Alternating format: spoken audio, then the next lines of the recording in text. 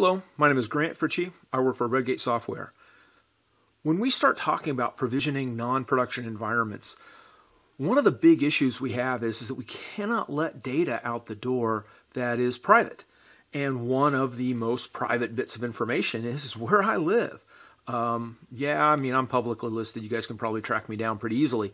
That's not the question. The question is, is what if I'm not? What if I, I that information is private and, and I don't want it exposed? And you know you're dealing with stuff like you know the new California Privacy and Protection Act you're dealing with the GDPR you know you're dealing with all these different mechanisms HIPAA FERPA who knows that are going to make sure that you can't expose uh, production information in non-production environments depending on the type of information and location you know my address my zip code and all that fun stuff is very much private depending on how you define it. So, you've got to mask it, right? If we want to do production size data in a non production environment, then we still need to retain the data. But how could we do this in a way that gets us a, a, a roughly the same distribution, that we see the same types of data distributed in the same ways, but we completely mask the individuals that that information is tied to? Redgate Software's got a cool tool called SQL Data Masker, and I'm going to show you in this video how SQL Data Masker can take your data and your data distributions and use your data and your data distributions in a completely automated fashion that will allow you to mask your data but still maintain your data distributions. cool trick, right? Let's go check it out. So this is Redgate Data Masker for SQL Server. And what I've got here is a very simple setup for dealing with addresses inside the AdventureWorks database. Now, every data structure is going to have different tricks and traps and stuff that you have to do that are going to change the way you would set things up. This is not how I would do this on, on another system or on another database. But on AdventureWorks, if I want to mask address information, there's actually a really easy way to do it. All I have to do is rearrange the addresses based on postal code. If I just mix everything up on postal code and don't do anything else, because of the referential integrity and all the rest of the stuff going on, I can actually hide all of the addresses such that you will not show up under my under your own address. Even if uh, even if we keep your personal data in here, your address is going to change, guaranteed. Because all I have to do is shuffle the data in place based on address. Let's go ahead and open up that rule just so you can see how easy it is to set up. And you can see right here we've got it. Let's go ahead and put it right front and center. And all I've done is just say, here's the column I want you to shuffle, and I want you to shuffle postal code.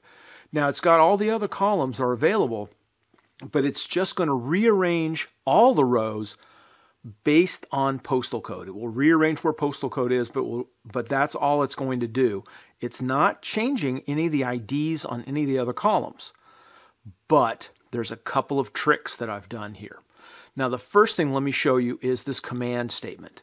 Now, in this command statement, what I've done is really simple. I basically said set up a, a postal code or a zip stage database and set up a city database based on postal code. So that way, what I'm doing is, is I'm going to rearrange the postal codes, right? That's going to happen. So let's just let's just assume that happens. But then what I'm doing is I'm taking those same postal codes and I'm capturing the states that are connected to them and I'm capturing the cities that are connected to them so that after the postal codes get rearranged, I can use these values to ensure that my data still looks real. So that the postal code for, say, um, Beverly Hills 90210 is still going to be Beverly Hills and it's still going to be in California at the end of this process. So that's what we've done here is we've set up these tables um, move the data into them. We then shuffle the postal codes. I then do simple substitution rules on my database. And basically what I'm going for here, let me move this down so you can see it, is I've got address line one, address line two, and I'm filling in street addresses for all of them. And the where clause is, is that's where it's not null or empty. If, if there's no value, I don't need to substitute a value because there's nothing there. But if there is a value, I'm going to substitute it to ensure that I've got, um, you know, properly masked data. And then I'm going to do use table to table. Let's go ahead and pull that up. And basically, based on the state province ID, I'm going to map across my postal code. Now, one thing I could do to speed things up is I could put an index on postal code on the address table, but I didn't want to modify my existing tables in any way. Um, it is something that I could do to, to, to, speed things up, but in this case, I'm not going to. Um, and then the, the next thing is city stage, and it's the same idea. I'm based on the city, um, make sure the postal code values match. And so it just very, very quickly moves around the columns exactly as we need it to move them around and gets us to where we need to get. Now, the one thing I will note is that you see how each of these things is, is below the other. And what's going on is, is that this must complete before this one completes. This must complete before this one completes because these are nested values. They actually have to get done in the correct order. Otherwise, I'm going to run into um, data issues because if it's if it's trying to mix um, and shuffle the zip uh, uh, the the postal code information at the same time as I'm trying to use postal code information to update other columns, it causes actual problems. So I've made sure that I've nested these things so they occur one after the other. And then finally, um, I've got it so it drops the um, uh, um, staging tables. So it cleans those out and off it goes. Let's run this. Yes, run the rules now. All right, and let's go over to rule statistics so you can see it running. And so you notice that it's completing each one in stage. So the command is completed, then the shuffle is running. So it's shuffling each of the data sets um, one after another. And you can see the number of rows that have been processed is now up to you know, the 1900. And now it's running, you know, the substitution so that it's it's replacing all the address one, address line two, you know, as outlined. Um, that should finish shortly. Usually fairly quick.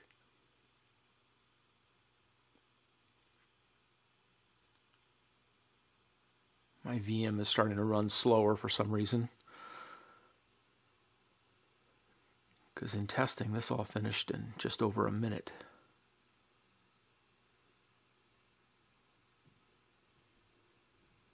Let's go. Me speed this a bit up. There, that's complete. Now the table to table is running to make sure that I've got all the city information and the state information mapped appropriately to my now moved postal code information. Yet it still maintains referential integrity across them.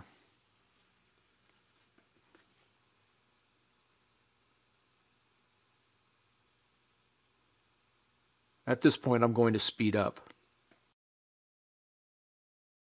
And now that's done.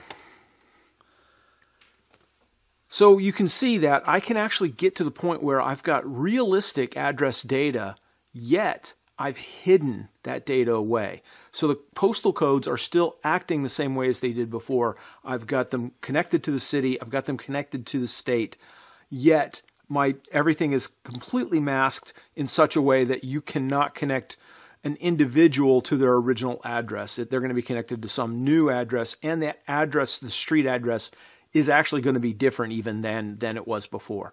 So we've masked all our data, yet our data is still functional as addresses. So as you can see, that just uses your data. So it's not we're not producing new data, we're not finding other data sources. We're using your data to drive the data masking. We're still masking the data. We're still hiding the data from people who are not supposed to be exposed. We're still protecting the people who need to be protected. But we're using your data in a way that allows that data to look and act as if it were real, even though we've hidden all of the actual functionality from, or, sorry, it allows that data to look real even though we've ensured that it's masked from the original owners uh, so that there's no chance that it's connected up, but we've got it all divided down so that you can see a distribution that looks like your production environment. It's a big trick. It's a cool thing to know. Anyway, please subscribe. There's lots more information like this coming. If you subscribe, you can keep up to date on what's coming out, and um, then you'll see all the videos as they become available. Thanks a lot. My name is Grant Fritchey. I work for Redgate Software.